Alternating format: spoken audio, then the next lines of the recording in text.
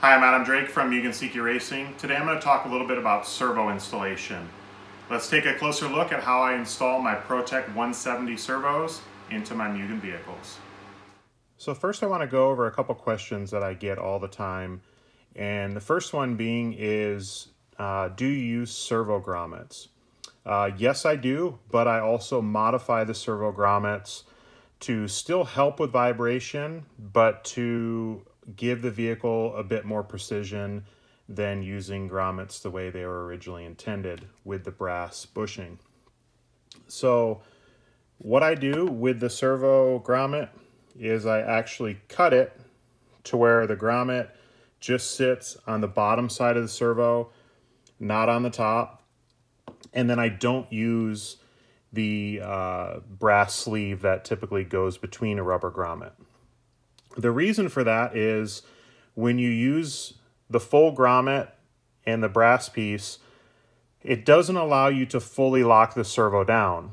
And that's probably the best way to reduce vibration to the servo, but it's also really bad at holding the servo in place and having the precision steering and throttle that you need for long nitro races. So this is what I found to kind of be the balance of both. It gives me the precision as if I'm not using a grommet, but it gives me the protection of using a grommet because I still have the rubber between the graphite tray and the servo. Another tip that I do is on the Mugen radio tray, we have these plastic pieces that the servo screws, they go through the servo, through the tray, and into here to secure the servo in place. I like to take just a drop of glue before uh, building the tray and securing these in place. It just makes it easier anytime you go to put a servo in or change a servo to have these secured in place instead of trying to hold it from the bottom as you're running the screws through from the top. Another thing that I do on the back side for the throttle servo is that same plastic piece. I just take a Dremel, I come in with a sanding drum and just kind of clearance it a little bit. Just makes it a lot easier to drop the servo in. With the Protek servos, it doesn't have the wire uh, hardwired into the servo. It has a connection, so it's pretty easy to drop in and out. But this just helps make a little bit more clearance um, so you don't have to kind of force, force the servo into place. So from there, I just drop the servo down into the tray. Go ahead and plug the plug into the servo. And then I'll take the wire and basically tuck it in alongside the throttle servo. I also take the plastic radio tray support and with a Dremel, I relieve a little bit of material, and this just helps create a little bit more space for the wire. Um, you, you just don't want this wire resting up against the post, and over time with the vibration, it can kind of damage that wire. And um, you just want to make sure that everything kind of has its place and nothing's like rubbing up against one another uh, for the longer nitro races.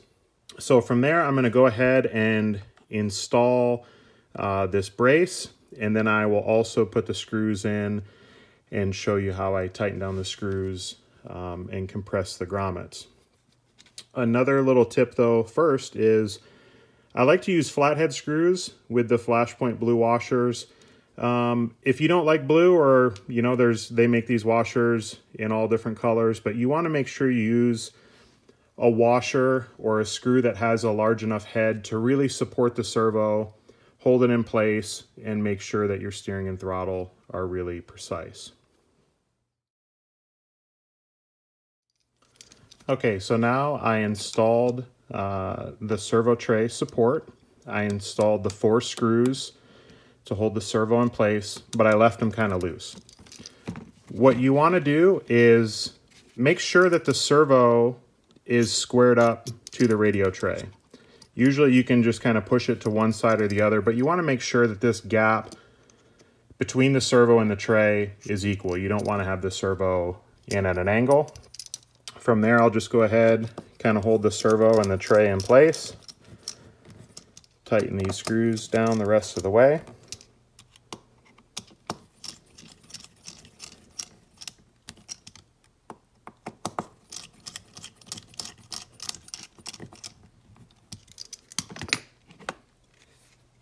And then you can see that the grommets are pretty much collapsed, but it still allows you to have that rubber grommet or a little bit of a buffer to help absorb some of the vibration, and that will really help increase the life of the servos, but yet still give you the precision of the servos being secured in place for the long nitro races.